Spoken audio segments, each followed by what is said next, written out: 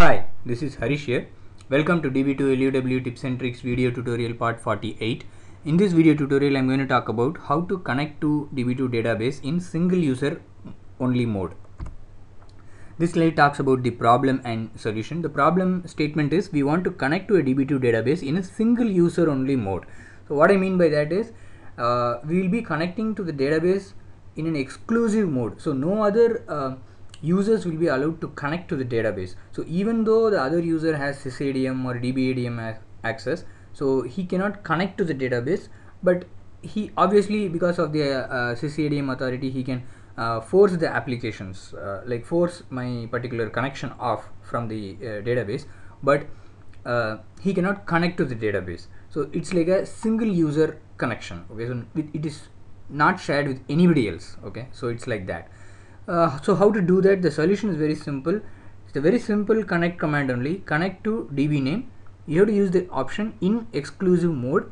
After that you can uh, give the user username and using password class. So the keyword is in exclusive mode okay? And there is a precondition for it. Like uh, the database should not be active either implicitly or explicitly when we try to acquire a connection in an exclusive mode. So if the database is already active then it will be active in a shared mode right? So we obviously cannot uh, connect to the database in an exclusive mode. So that request will be denied okay? So let's just quickly uh, get into the uh, examples as usual. So here I have in uh, terminal 1 I will connect to uh, uh, a sample database like test database okay? So this is like implicitly it will activate the database right? So this is like implicit activation okay so after that I go and say in terminal 2 connect to test in exclusive mode user Ubuntu using Ubuntu okay? So Ubuntu is just a normal user. Uh, so I go to terminal 2 okay? Enter. So obviously so the the connection cannot be established because it is already active right? So what I do in terminal 1 I go and do connect reset. Then I explicitly activate the database okay in terminal 1 okay so connect reset is done. Then I'm explicitly activating the database.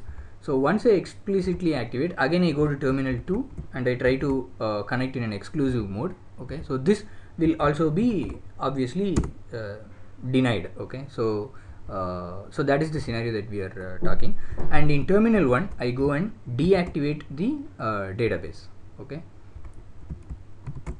So now the database is not active either implicitly or explicitly now in terminal 2 I'll go and I'll again do the same thing okay so I, am going to establish a connection here so now this connection is granted uh, in exclusive mode for user Ubuntu. He's not like a sysadm or dbadm like that. He's just simple app user like that. Okay. Uh, so he is able to connect in exclusive mode. So when the exclusive mode connection is there, no other person. See now in terminal one I try to connect. Okay. So this terminal one I am like in db2 inst1 right. So a sysadm user he is also not able to connect because already the database is active and it is active in an exclusive mode. See here exclusive mode. So that is very important okay? Now obviously because of sysadm he can force my application. So let me, let me go to terminal 1 and I say like you know force applications all okay so when I come here so when I say list tables so the connection will not be active. So you can say db2 get connection state like that. Okay. Uh, let me just so I have forced it so list tables. See it's so it's not able. So my application has been forced right?